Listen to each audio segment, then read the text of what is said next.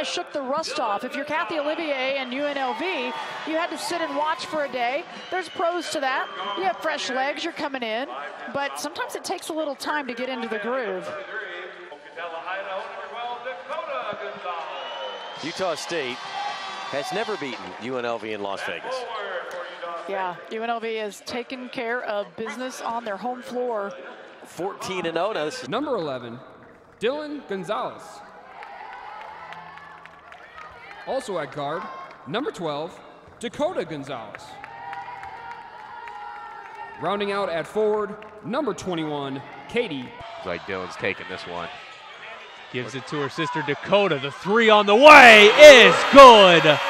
As UNLV is going to go to the fourth quarter, leading this one 45 to 31.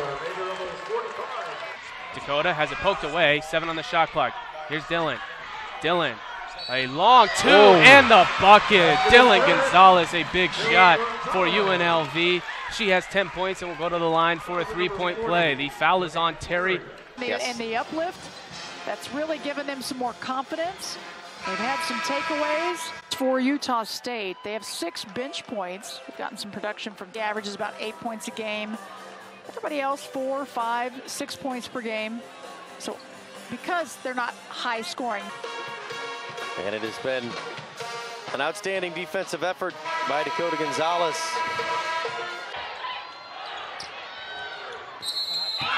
And one. Dylan Gonzalez drills the three, gets bumped. the UNLV bench goes crazy. They had water in their hands and it goes all over the court. They're trying to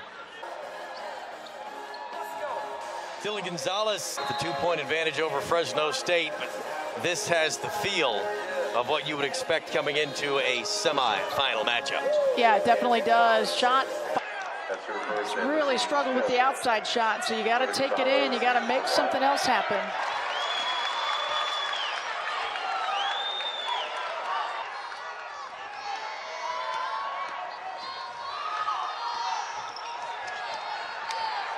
Gonzalez all the way around for the layup. Dakota Gonzalez, the outside shot hasn't been there, but the drive pays off, and UNLV.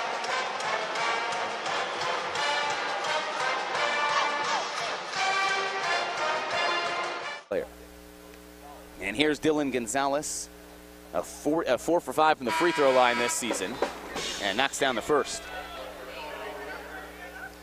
Suffered that shoulder injury three games into the season, missed the immediate four after that, then came back against Pepperdine uh, December 9th. And her second one's up Take another look. No traveling just really extends her stride, and she knows it.